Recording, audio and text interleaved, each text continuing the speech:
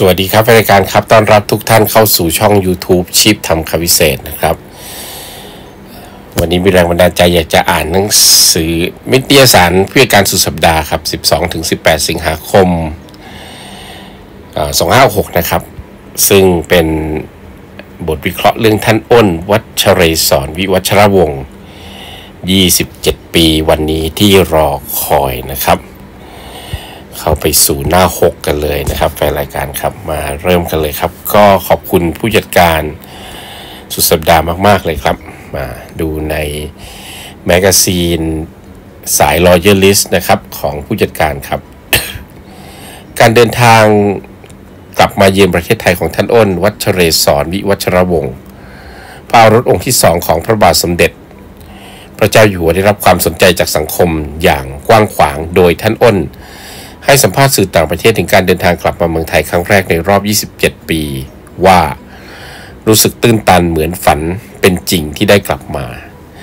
ทั้งนี้วันที่ 7 สิงหาคม 2566 ในโลกโซเชียลมีการเผยแพร่คลิป วิดีโอยาวประมาณ 30 วินาที ขณะที่ท่านอ้นเดินออกมา ช่องทางเดินผู้โดยสารขาเข้าที่สนามบินนานาชาติสุวรรณภูมิ โดยท่านอ้น ซึ่งสวมเสื้อนอกลำลองทับเสื้อโปโลสีขาว ได้โบกมือทักทายคนที่เรียกชื่อของท่าน และเดินเข้ามายกมือไหว้ โดยเวนายิ้มแย้มทั้งยัง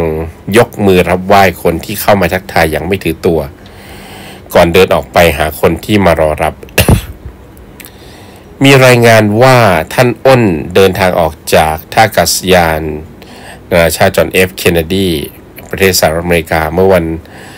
ที่ 5 สิงหาคม 2566 ตามเวลาท้องถิ่นด้วยสายการบิน คาเธ่ย์แปซิฟิกและแวะมาเปลี่ยนเครื่องที่ฮ่องกง เพื่อเดินทางต่อไปยังประเทศไทย มาถึงท่าอากาศยานนานาชาติสุวรรณภูมิ เมื่อช่วงเย็นวันที่ 6 สิงหาคมที่ผ่านมา โดยท่านอ้นได้เข้าพักที่โรงแรมแห่งหนึ่งในกรุงใจกลางกรุงเทพเบื้องต้นมีกำหนดพักพำนับอยู่ในประเทศไทยประมาณ 1 สัปดาห์ ในการเดินทางมาเยือนครั้งนี้ท่านอ้นมีวัดปฏิบัติตามกำหนดการที่ตั้งใจไว้ โดยเมื่อเช้าวันที่ 7 สิงหาคม 256 ท่านอ้นเดินทางเข้ากราบสมเด็จพระสังฆราช ที่วราบพิตรสถิตมหาสีมาราม จากนั้นเดินทางไปสักการะศาลหลักเมือง วัดพระศรีรัตนศาสดาราม และวัดหงรัตนาราม ราชวิหารราชวรวิหารย่านอรุณอมรินวันรุ่งขึ้น 8 สิงหาคม 256 ท่านโอนเดินทางไปเยี่ยมเด็ก ๆ และทำกิจกรรมต่างๆ อย่างเป็นกันเองที่มูลที่เด็กอ่อนในสลัม ในพระอุปถัมภ์สมเด็จ พระนางเจ้า สมเด็จพระนางสมเด็จพระเจ้าพี่นางเธอเจ้าฟ้ากัลยาณิวัฒนากรมหลวงนราธิวาสราชนครินท่ามกลางบรรยากาศการต้อนรับอย่างอบอุ่น เมื่อมาถึงมูลนิธิท่านอ้นเข้าชมและดูวิดีโอการดูแลเด็กอ่อนเด็กยากจนของมูลนิธิจากนั้นเข้าเยี่ยมเด็กในห้องเด็กอ่อน เด็กกลาง เด็กโต พร้อมทั้งพูดคุยทักทายเด็กๆ อย่างใกล้ชิดและรับฟังการดำเนินงานของมูลนิธิการช่วยเหลือเด็กและครอบครัวที่ยากจนด้วยความสนใจ และมอบสิ่งของของใช้ที่จำเป็นพร้อม มอบเงินส่วนตัวอีกหนึ่งหมื่นบาท จากนั้นจัดเลี้ยงอาหารเด็กจำนวน 55 คน และได้พูดคุยกับเด็กๆอย่างเป็นกันเอง รวมทั้งให้กำลังใจแก่คณะทำงานของมูลนิธิมุ่งมั่นทำงานช่วยเหลือเด็กต่อไป ในโอกาสนี้ท่านอ้นได้ให้สัมภาษณ์ถึงการเดินทางกลับมายังประเทศไทย ในครั้งนี้ด้วยว่าอยากจะเยี่ยมบ้าน เพราะไม่ได้กลับประเทศไทยมา 27 ปีแล้ว อยู่เมืองนอกก็ใช้ชีวิตเหมือนคนไทย ส่งเสริมว่าทำไทยในต่างแดน ให้เขารู้ว่าว่าทำเรามีเสน่ห์ขนาดไหน และเป็นสมบัติอันล้ำค่าของเรา โค้ดคำพูดครับ อยากกลับมาเมืองไทยเพื่อเรียนรู้เรื่องวัฒนธรรมของเรามากขึ้น เพื่อนำไปเผยแพร่ในต่างแดนต่อไปครับ ไม่ได้เตรียมตัวอะไรมาก อยากจะมาวัด มาที่สิ่งศักดิ์สิทธิ์มากราบวัดพระแก้วศาลหลักเมืองก็สำเร็จตามที่วางแผนไว้เท่านี้ครับ ท่านโอนกล่าว พร้อมเผยความรู้สึกในการได้มาเยี่ยมบ้านเกิดอีกว่า รู้สึกตื้นตันใจ เพราะว่าได้รับความอุ่นจากคนจากชาวไทย และไม่นึกเลยว่ายังมีคนจำได้ หรือว่ายังมีความรักให้กับเราอยู่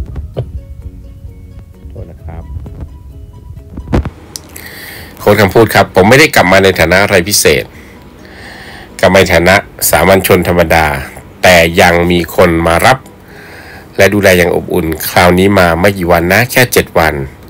เพราะยังมีภารกิจที่เมืองนอกอยู่อีกเยอะ ก็หวังว่าจะได้มาอีกเร็วๆนี้ครับทนนกล่าวสำนักข่าวต่างประเทศอย่างรอยเตอร์รายงานว่ามีประชาชนในชุมนุมละแวกมูลที่เด็กอ่อนที่ทราบข่าวการเดินการมาของท่านอ้นได้ออกมารอต้อนรับ จำนวนมาก บางรายโผกอดท่านอ้นขณะที่ท่านอ้นยกมือไหว้ทักทายอย่างนอบน้อม สร้างความประทับใจให้แก่ผู้พบเห็นอย่างยิ่งรอยเตยังได้ยังได้สัมภาษณ์นางอังสนาศรีประสิทธิ์วัย 66 ปี หนึ่งในชาวบ้านที่มารอทักทายท่านอ้น ด้วยว่าเธอรู้สึกตื้นตันใจมากที่ได้เห็นท่านอ้นอีกครั้งสำหรับตัวเธอเองแล้วท่านยังคงเป็นสมาชิกราชวงศ์อยู่เสมอ ในวันเดียวกัน Facebook ส่วนตัววัชเรศรวิวัชรวงศ์เป็นภาษาอังเกฤษนะครับ ของท่านอ้นโพสต์ภาพเมื่อช่วงวัน ช่วงค่ำวันที่ 7 สิงหาคม2566 พร้อมระบุข้อความว่าแบงคอกตุกตุกเป็นภาพที่ท่านอ้นบนรถตุกตุกที่จอดอยู่บนถนนสายหนึ่ง มีคนมากดไลค์จำนวนมากรวมถึงมาแสดงความยินดีที่เห็นท่านอ้นมาเยือนไทย หลังจากนั้นเข้าวันที่ 9 สิงหาคม2566 ที่ผ่านมาท่านอ้นได้รับประทานอาหารที่ร้านรอเย็นโอชา ซอยโรมวดีถนนวิทยุกรุงเทพ พร้อมกับครอบครัวทำอาหารกับเชฟวิชิตมุกุระ ของร้านในระหว่างนั่งรับประทานอาหาร ทางร้านได้มีแสดงโชว์หุ่นละครเล็กให้รับชมด้วย ในโอกาสเดียวกันในายสมคิดจตุศรีพิทักษ์อดีตรองนายกรัฐมนตรีและคณะก็ได้ไป รับประทานอาหารที่ร้านดังกล่าวจึงมีโอกาสพบท่านอ้น และถ่ายภาพเป็นเที่ระลึกสำหรับกิจกรรมท่านอ้นในวันที่ 10 สิงหาคม 2556 เป็นวันที่ 4สำหรับการเดินทางมาประเทศไทยท่านอ้น พร้อมเพื่อนสนิทเดินทางไป เป็นเจ้าภาพถวายพระทหารเพลนพระสงฆ์และสามเณรรวม 130 รูปณโรงเรียนปริยติธรรมพรมวชิรยานณวัดยานาวา และทำบุญปล่อยปลาที่ท่าน้ำ วมทั้งสักการะพระบรมราชานุสาวรีย์พระบาทสมเด็จพระนางเกล้าเจ้าอยู่หัวรัชกาลที่ 3 รวมถึงสิ่งศักดิ์สิทธิ์สำคัญภายในวัด จากนั้นเดินทางมายังวัดบวรนิเวศวิหารเพื่อกราบสักการะพระพุทธชินสีพระประธานในพระอุโบสถ วัดบวรนิเวศ พร้อมกับสักการะอัฐิสมเด็จพระสังฆราชเจ้ากรมหลวงวชิวาวชิรยานสังวร พระบรมราชสรีรังคาร พระบาท สมเด็จพระบรมชนากาธิเบศรมหาภูมิพลอดุลยเดชมหาราชบรมนาถบพิตรเสร็จแล้วออกเดินทางจากอุโบสถไปสักการะพระเจดีย์พระบรมสารีริกธาตุเพื่อสักการะพระบรมสารีริกธาตุและพระภัยรีพินาศต่อด้วยคณะตำหนัก เพื่อสนทนากับพระเทพวชิรมุนีเจ้าคณะภาค 8 ธรรมยุทธและผู้ช่วยเจ้าวาดวัดวรนิเวศพร้อมด้วยคณะสงฆ์ณ คณะตำหนัก กล่าวสำหรับประวัติของท่านอ้นจบการศึกษาตอนปลายที่ Trinity Prep School ประเทศสหรัฐอเมริกา ปริญญาตรีสาขานิติศาสตร์จากมหาวิทยาลัยสเตทสัน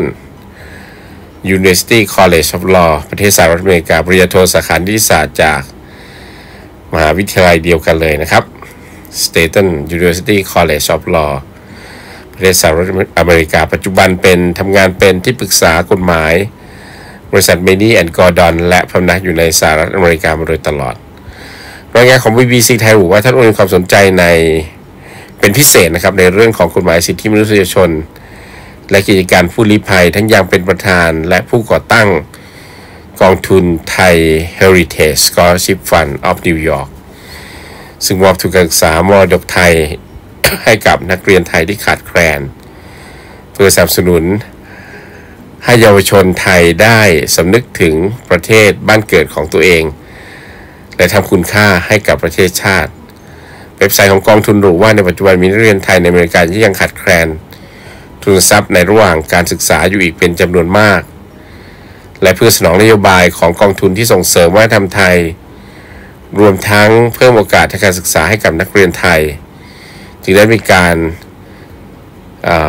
รับบริจาคทุนการศึกษาโดยมีเป้าหมาย ที่จะมอบทุนการศึกษาให้แก่นักเรียนที่มีความภาคภูมิใจและมีโอกาสมีความสนใจในมรดกวัฒนธรรมไทยเป็นประจำทุกปีเพื่อสำหรับการศึกษาที่เกี่ยวข้องกับภาษาและวัฒนธรรมไทย ท่านโอมีบทบาทโดดเด่นในการส่งเสริมงาน เผยแพร่พุทธศาสนา และศิลปวัฒนธรรมในต่างประเทศ โดยเข้าร่วมกิจกรรมต่างๆ ที่แสดงออก ถึงความสามัคคีและยึดมั่นในสถาบันที่เป็นศูนย์รวม